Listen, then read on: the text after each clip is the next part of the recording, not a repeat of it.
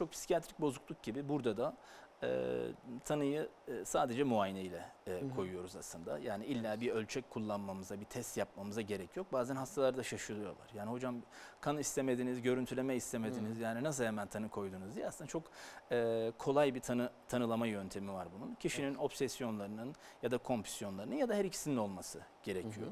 E, bunların gerçekten kişinin zamanını alması gerekiyor ki en azından kişiler günde burada e, bir saatten fazla zaman harcarlar. Yani ortalama bir saatleri vardır bu işlerle harcadıkları ve bu durumun kişinin yaşam kalitesini bozması. Derdimiz bu. Yani eğer gerçekten bu durum varsa e, biz obsesif kompulsif bozukluk tanısı koyuyoruz. Burada şunu atlamamak lazım.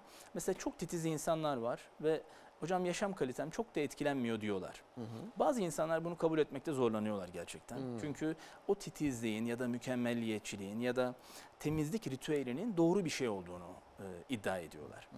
Aslında bunu da tartışmak lazım. Kendisi mi memnun yoksa etrafındaki insanlar e, bu durumdan memnun mu, rahatsız mı buna bakmak lazım. Çünkü günlük bir saatten fazla zaman ayırdığınız bir ritüel haliyle yaşam kalitenizi etkileyecektir diye düşünüyorum. Bu haliyle tanımızı kolaylıkla koyabiliriz.